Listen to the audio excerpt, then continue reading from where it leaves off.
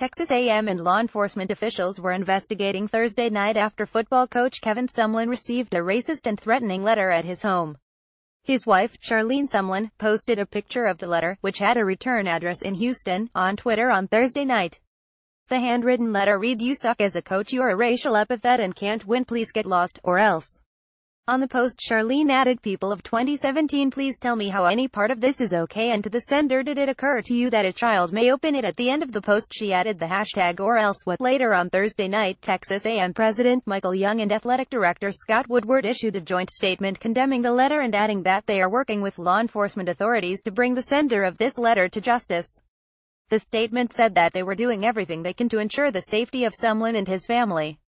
There is no excuse for hatred and, as a community, we will not allow the ignorance of some to intimidate any member of our community, the statement continued.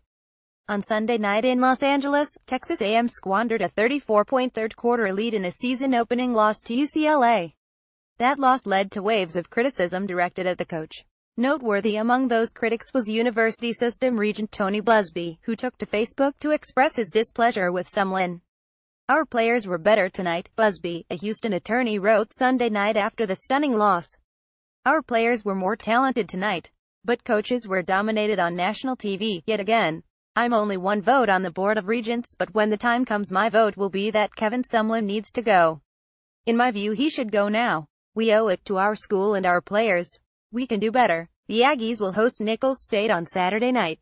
The 53-year-old Sumlin, the first black head football coach at A&M, has three years and $15 million left on his contract that runs through the 2019 season. More AP College Football http collegefootball.app.org and https www.twitter.com app top 25.